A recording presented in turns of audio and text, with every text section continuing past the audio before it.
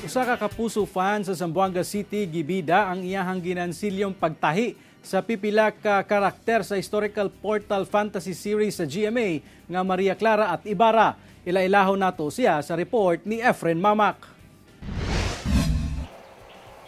Kini ang replika sa duha ka mga karakter sa historical portal fantasy series sa GMA nga Maria Clara at Ibarra.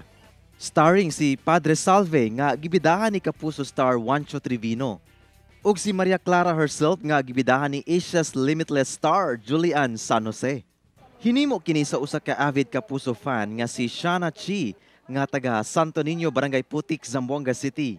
Nahimo niya kini gamit ang mga crochet hook ug yarn. Si Sir Juancho Trevin- Tr- Trevino.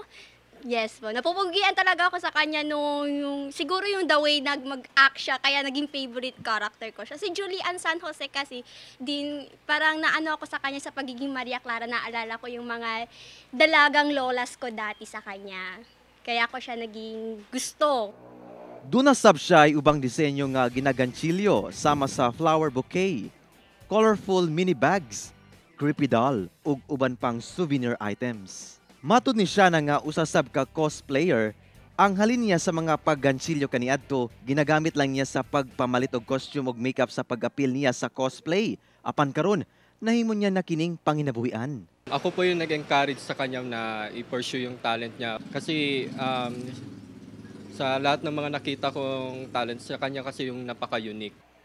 Natunan kuno ni siya na ang paggansilyo sa iyang mga lola kaniadto ug iyang napalambo pinaagi sa pipila ka mga tutorial online. Sa mga tao na gusto, kaya hindi naman paggaganchilyo, kung meron sila na-discover na meron pala sila passion kung saan, ah, go for it. I-practice nyo lang yan. Every stitch ko, inaano ko talaga, with love talaga yan siya. Kauban si Sim Romero sa kamera, ako si Efren Mamak. Para sa One, Mindanao.